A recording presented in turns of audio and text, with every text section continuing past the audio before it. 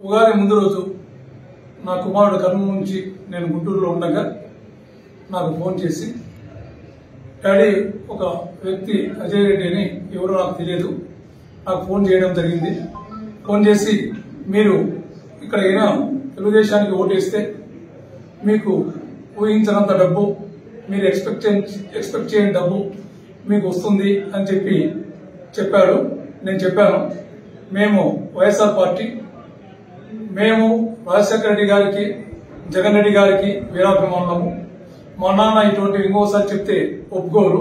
దయచేసి ఇంకోసారి నాకు ఫోన్ చేయొద్దని నేను చెప్పి చెప్పడం జరిగింది అంటే మంచి పని చేసాం ఇంకా ఎటువంటివి కూడా ఇటువంటి కాల్స్ నువ్వు లిఫ్ట్ చేయొద్దు అని చెప్పి నేను చెప్పడం జరిగింది. అలాగే ఉగాది రోజు నైట్ మిడ్ నైట్ పన్నెండు గంటలకు శిల్పాచక్రపాణి రెడ్డి గన్మెన్ వచ్చి నన్ను లేపడం జరిగింది.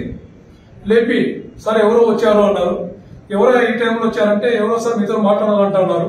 సరే నువ్వు పోయేసి నీ ఫోన్ ఇచ్చేసేసి వారి ఫోన్కు మాట్లాడమని చెప్పి అని చెప్పి చెప్పాను.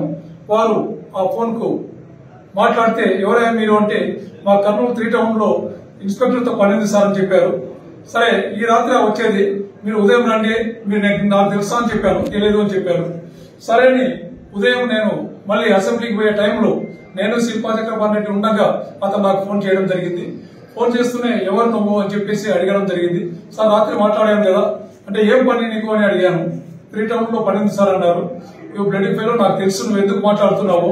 నువ్వు రెండు వందల కోట్లు పక్కకు పెట్టి జగన్ రెడ్డి ఫోటో పక్కకు పెట్టినా కూడా నేను జగన్ రెడ్డి ఫోటోకి వెళ్ళిపోతాను కానీ రెండు వందల కోట్లకు పోను. ఆ ఫ్యామిలీ నాకు అంత అభిమానము. ఆ కుటుంబంలో నేను ఒక సభ్యుడిని కాబట్టి దయచేసి ఇంకోసారి ఇటువంటి ప్రలోభాలు పెట్టొద్దు. నాకు ట్రై చేయొద్దు అని చెప్పేసి చెప్పి ఫోన్ పెట్టేయడం జరిగింది. ఇది వాస్తవం.